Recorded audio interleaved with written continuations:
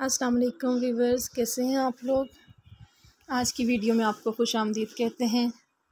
आज काफ़ी दिनों के बाद एक न्यू वीडियो अपलोड कर रही हूँ तो प्लीज़ इसे लाइक शेयर और सब्सक्राइब कीजिएगा। और अगर आपको वीडियो अच्छी लगे तो कमेंट्स भी कर दीजिएगा। आज आपको शर्ट के ऊपर और गेंजा पेज कैसे लगाते हैं वो लगाने का तरीका बताएँगे और किस तरह के डिज़ाइन में आप कोई भी डिज़ाइनिंग कर सकते हैं। हमने और गेंजा पेज को लिया और समोसा शेप में उसे पहले स्टार्ट से इस तरह से आड़ा करके हम प्लेट्स डालते जाएँगे। ठीक है? ये देखें, इस तरह से आड़ा करके रख के हमने, आप इसमें चौड़ी वाली प्लेट्स भी डाल सकते हैं और छोटी वाली प्लेट्स भी डाल सकते हैं। लेकिन हमने छोटी वाली प्लेट्स डाली है, इस पर चौड़ी प्लेट्स नहीं डाली। और इस तरह से हमने दो पीसेस लेके उस पर लगा लगाते जाएँगे। एक जो फ्रंट वाले दामन का हिस्सा है, उसके लिए हम प्लेट्स डाल रहे हैं। और एक बेक वाले दामन का। अभी आपको ये कपड़ा थोड़ा सा चौड़ा लग रहा है तो हमने इसकी पहले स्टार्ट में कटिंग नहीं की है, क्योंकि जब हम प्लेट्स वगैरह डालते हैं तो इसमें काफ़ी कोन वगैरह और गेंजा में आ जाती है, ठीक है? तो यहाँ से आप ये दूसरी जो प्लेट डालेंगे, उस पर पहले आपने ये देखना है कि आप एक इंच पे लगाना चाहते हैं तो एक इंच पे लगा दें, एक इंच का फासला रख के दूसरी प्लेट लगाएँ। अगर सवा इंच का रखना चाहते हैं, दो इंच का, वो आपकी अपनी मर्ज़ी है, ठीक है? तो हमने तकरीबन एक से सवा इंच के फासले पे प्लेट्स डाली हैं, इस तरह से फ्रंट और बैक की। और मैं आपको बता रही थी कि हमने चौड़ा कपड़ा रखा है और गेंजा पेज के लिए, ठीक है? इसमें इसलिए हमने इस तरह से रखा है कि बाद में हम जो इसमें कून वगैरह आएगी, पहले हम प्लेट्स डाल के इसको अच्छे से प्रेस कर देंगे, हल्का सा शावर भी करके इसको प्रेस कर देंगे, जो इसकी प्लेट्स होंगी बहुत अच्छे से फिर बैठ जाती हैं।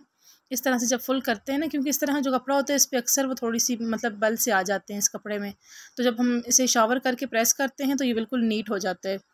और फिर उसके बाद हम इसकी जब कटिंग करते हैं, आगे मैं आपको इसकी कटिंग का वो भी तरीका दिखाऊँगी कि किस तरह से मैंने पहले रखी है। तो काफ़ी चौड़ा था फुल जैसे पेज बना हुआ आजकल बाज़ार से इजीली आपको मिल जाता है किसी भी शॉप से ख़ास तौर लेस और ये पाइपिंग वगैरह की शॉप से आपको मिल जाएगा। इस तरह के पेज हर कलर में मिलते हैं, हर सूट पे लॉन के ड्रेस पे आप डिज़ाइनिंग कर सकते हैं, किसी भी सूट पे डिज़ाइनिंग कर सकते हैं। ये देखें, ये एक्स्ट्रा कपड़ा आपको नज़र आ रहा है साइडों से, इस तरह से ये कपड़ा एक्स्ट्रा आ जाता है। फिर हमने इसको पूरा बराबर करके कटिंग कर लिए। देखें अभी हमने फुल बराबर करके इसे कटिंग किया, साइडों से कटिंग करके ये आपको दिखा रहे हैं। कटिंग करने के बाद अभी हम इसको दामन के साथ अटैच करेंगे गुम सिलाई में। आप जॉइंट लेस के साथ भी कर सकते हैं। जॉइंट लेस जो दामन में लगाते हैं। लेकिन हम लोग अभी पहले ये स्टार्ट पे जो है फ्रंट वाले दामन की जो लेस है ना फ्रंट वाले हिस्से की, उसको गुम सिलाई में हम लेस लगा रहे हैं। इस तरह से लेस लगाने के बाद आपने इसी कपड़े को अच्छे से करके फिर दोबारा प्रेस करना है, क्योंकि जैसे हम गुम सिलाई में लेस लगाते हैं। ये लगाने के बाद दूसरे पेज पे भी लगा के ये देखें, गुम सिलाई में लगा के प्रेस करके फिर उसके बाद हम सिलाई लगाएँगे डबल फोल्ड करके। ये देखें, कितने अच्छे से प्रेस हो गया और ये ऑर्गेन्ज़ा फ़ौरन से बैठ भी जाता है।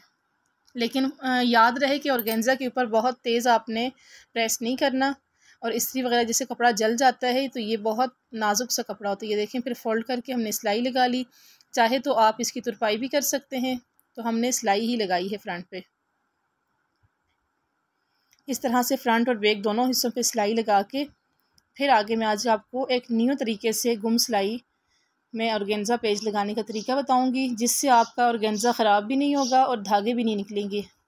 अक्सर लोग लगाते हैं और गेंजा पेज, लेकिन उनके धागे निकल रहे होते हैं, साइड से नज़र आ रहा होता है तो वो बहुत बुरा सा लगता है। तो आप इस तरह से लगाएँगे, जैसे मैं आपको लगाने का इस तरीका बताऊँगी तो आप देखिएगा, ये देखें। इस तरह से हमने कपड़े को रखा है। फ्रंट वाले हिस्से पे पहले हमने उल्टा करके और गेंजा के पेज को रखा है। फिर उसके बाद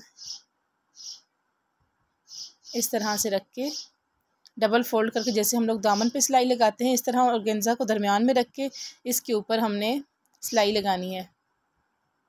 ठीक है, ये साइड से और गेंजा का पेज जो है, ये इसके अंदर हमने रखना है पहले। इस तरह से। ये देखें, नज़र नहीं आ रहा कि इस पर सिलाई हमने किस तरीके से लगाई हुई है। और ये है कि इसके धागे भी नहीं निकलेंगे और ये ख़राब भी फिर इस तरह से नहीं होता। वैसे जल्दी से वो धागे निकल के एकदम से कपड़ा ख़राब हो जाता है।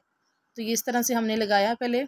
दोनों दामन पे, बाजुओं पे हमने इस तरह से ही लगा के, फिर इसको लगाने के बाद आप अच्छे से इसको फोल्ड करके प्रेस भी करते हैं। प्रेस करने के बाद फिर आपने इसकी डबल सिलाई लगानी है। वो आपको मैं आगे साथ बताती हूँ। ये देखें ठीक है। अभी जो ये वाला हिस्सा था, इसको हमने इस तरह से सीधा किया। फिर हमने इसके ऊपर प्रेस की। और फिर ये इस हिस्से को फोल्ड करके सिलाई हमने लगा दी, देखें। और ये पता भी नहीं चल रहा कि हमने किस तरह से गुम सिलाई में लगाया है। और बहुत नीट और अच्छे से बनने वाला ये डिज़ाइन है और ताकि ख़राब भी नहीं होगा, ठीक है? अगर फिर भी आपको किसी चीज़ की समझ ना आए तो आप दोबारा मुझसे कमेंट्स में पूछ सकते हैं। और अगर आपको हमारी ये वीडियो अच्छी लगे तो इसे लाइक, शेयर और सब्सक्राइब कर दीजिए। ये देखें कितने मज़े से बन के रेडी हो चुके हैं। और बेल बेल आइकन के बटन को दबाना हरगिज़ मत भूलिएगा कि उसके, जब भी हमारी न्यू वीडियो आएगी तो वो आपके पास उसका नोटिफिकेशन आ जाएगा, ठीक है? इस तरह से ही हमने बना के रेडी किया और साइड पे हमने जो इसको पलटा लगाया था, कपड़ा लगाया है, कपड़ा लगा के उसको हमने तुरपाई कर ली थी। ये आपको साथ में शर्ट भी दिखा रहे हैं, इसका गला कि हमने ये बनाई कैसे ये देखें हमने तुरपाई की हुई आपको पिक्चर में नज़र आ रही है। और ये बाजू पे भी हमने इस तरह से डिज़ाइन बनाया है और दामन पे भी। Allah Hafiz.